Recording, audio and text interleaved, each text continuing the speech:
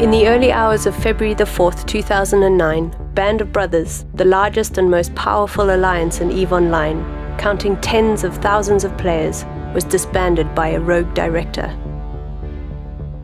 Immediately, they claim to a large number of solar systems was nullified, hundreds of star bases went dead, and defenses went down.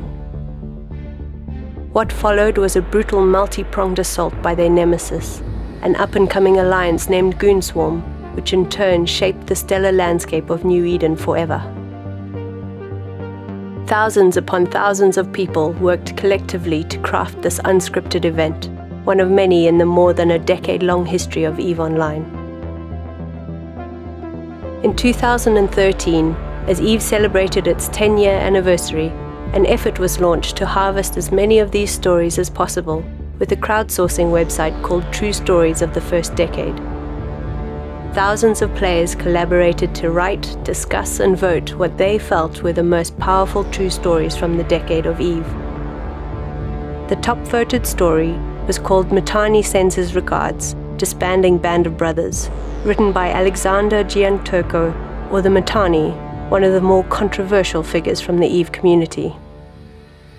CCP, the creators of EVE Online, joined up with comic book publisher Dark Horse Comics to adapt this story into a 64 page comic book.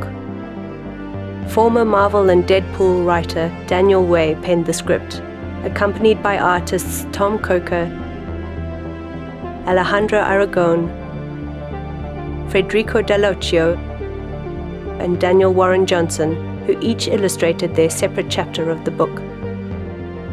This comic book is now in hardcover and available from Amazon and major bookstores. Order now to own and hold in your mortal hands this beautiful artifact of gaming history.